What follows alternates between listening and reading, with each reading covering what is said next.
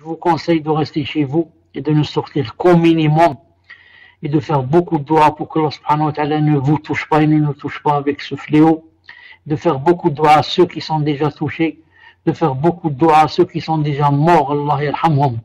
Allah yarham جميع من مات بهذا الوباء ونسأل الله عز وجل أن يعافينا وأن يحفظنا وأن يكلأنا نعم et mort du corona aujourd'hui, نعم beaucoup de, beaucoup de morts toutes les journées.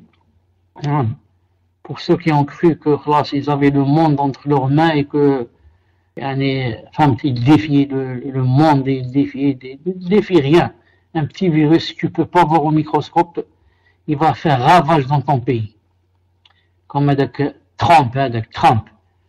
On fait ceci, on fait cela, on va faire ceci, on va faire cela, on va faire la guerre hein, au virus. Nous, il va pas nous attaquer, il va pas. Ah, c'est ton pays qui est le plus touché.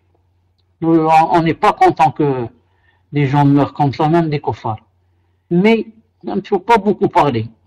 Il ne faut pas être orgueilleux. Il faut toujours montrer qu'on est faible, qu'on ne peut rien devant la puissance de Allah subhanahu wa ta'ala.